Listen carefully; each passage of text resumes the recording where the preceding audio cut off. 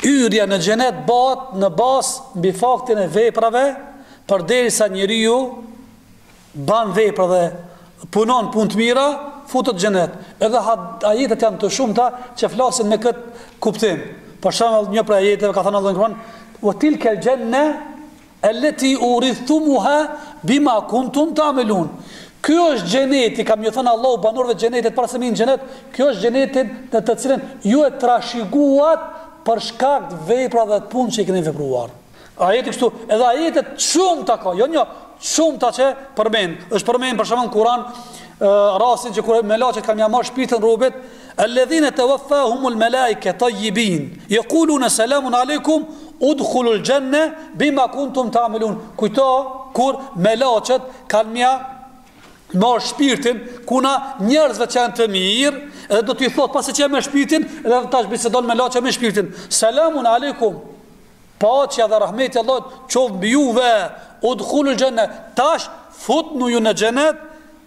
Për shkak veprave punëve që i keni ba. Shumë ka ajete. Kur'ani po thot, hyrja në xhenet për shkak punëve, aktiviteteve, projekteve, veprave, këto i përshin krejt, namazi, abdesi, zeqati, agjërimi, haxhi, respekti i nanës i babës, farefishi, bamirësia, sadakaja, të qajturit, leximi i Kur'anit, dhikri, istigfari, përgjërimi, lutja, tobja, pendim, krejt këto, a?